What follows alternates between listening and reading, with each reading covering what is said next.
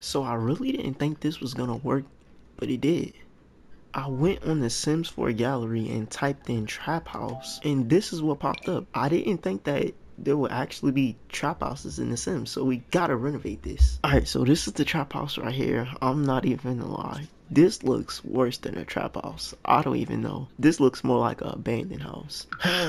but you guys know what we gotta do. Grab my sledgehammer and just go all across this front, inside, and backyard. Why didn't it remove all the stuff? Okay, yeah, this is gonna take a while, definitely. Why do they have the construction the blocks that they put in the middle of the road? Okay, I'm gonna just go ahead and finish removing all this junk.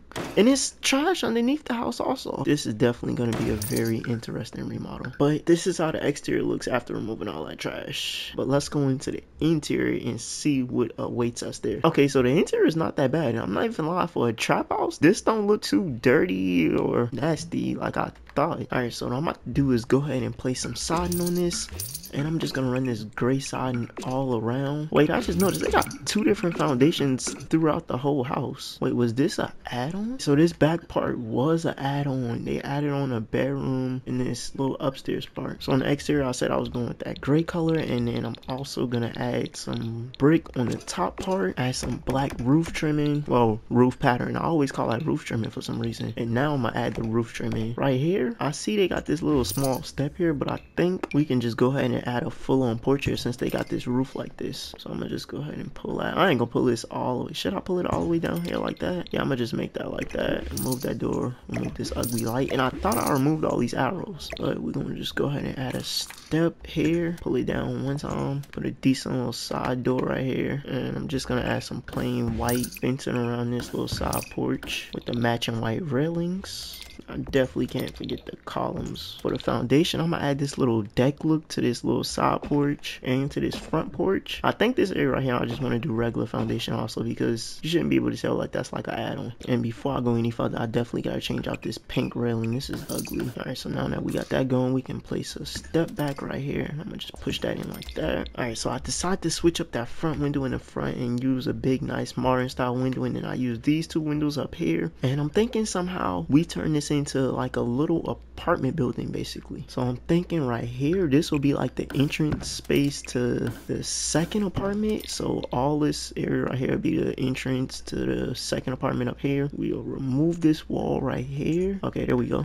And instead of placing a staircase, I'm gonna place a ladder here so it doesn't interfere with too much. So place a ladder here and you can go up into the second apartment and we can just go ahead and remove this staircase because that won't be needed no more and pull this over so we can close that off. All right, so downstairs, this apartment is definitely gonna be way bigger than this apartment up here. This would be just a little one bedroom, one bathroom with a small kitchen. Let's go ahead and remove this stuff and I'm gonna work on this apartment first. I'm looking at this bathroom design I'm feeling like I should pull this wall into this one and pull it back a little bit just so we'll have a little space up here when you come up the ladder or whatever you can come into the apartment and just have like a little chair or something out here I don't know I'm thinking this little space over here we make this like the little kitchen area so we'll do two cabinets there cabinet here and one here like that or maybe this kitchen's a little bit too big for how small this is but I definitely want to be able to put a regular size stove in here so stove will go here like that mm, this is a real small apartment maybe we don't go a regular size stove maybe we go like little kitchen over here. So I'm gonna treat this like a small apartment. I'm gonna go stove top here. I'm gonna do a full size refrigerator and I'm gonna place that here in this corner.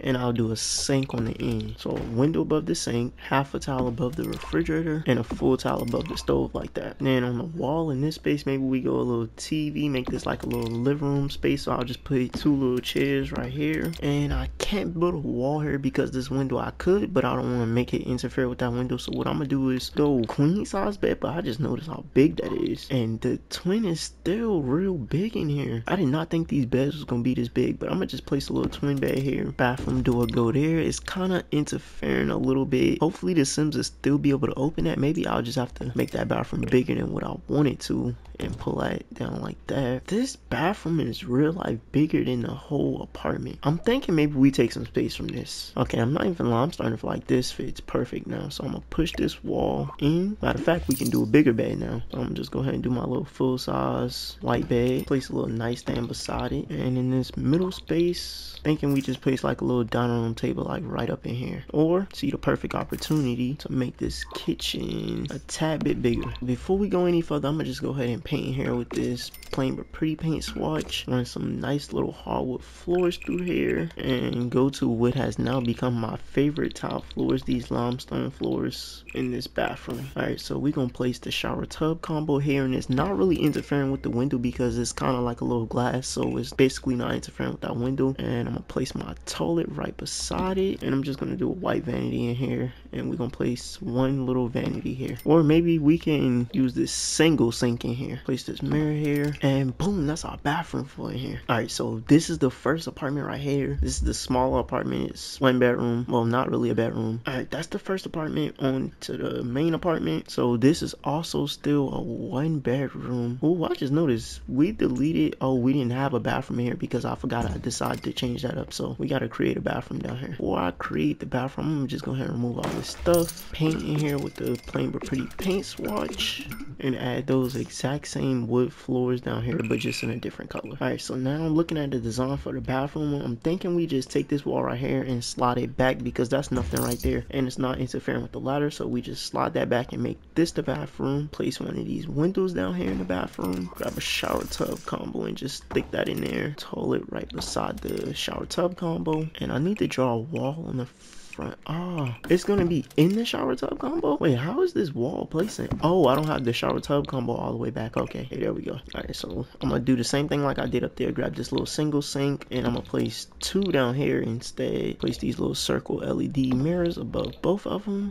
And I'm not even gonna lie, I wanna do this little black tile on the wall behind it and place the door here. In the bedroom, I'm gonna place a bed here and I'm gonna use these little table things as the little nightstands. One of my newest favorite designs placing these lights above the little nightstands like that. And I'm not even gonna lie I feel like this wood right here will fit perfect in this bedroom so I'm gonna use this as an accent wall in this back wall. All right so in front of the bed of course I'm gonna place a TV uh, I'm gonna have to do it more in the corner so we'll still be able to place a door slide that over and shrink it down a little bit. And it looks a little smaller because these are taller walls so i'm gonna just place that there dresser right under it. I need to align that perfect. And i just realized it's not the same color. It looks like the same color but it's two different colors. So we're just doing it all white. All right so in this downstairs kitchen we can actually do a pretty big kitchen in here. So i'm thinking we run cabinets down to here place a corner cabinet in between there. And i just remembered the front door goes here. I'm tripping. So we got to remove that. Oh we can still do it like that. I can just place a regular cabinet here slide slide this down one and place like a little pantry here. And then the front door will go right here beside it. And then do a nice little two cabinet island in the middle. We need to slide this down one. Okay so we need to put the island cabinets on the back of that like that. And in this apartment right here we actually get to use a normal size stove. So we'll just place that there. Upper cabinets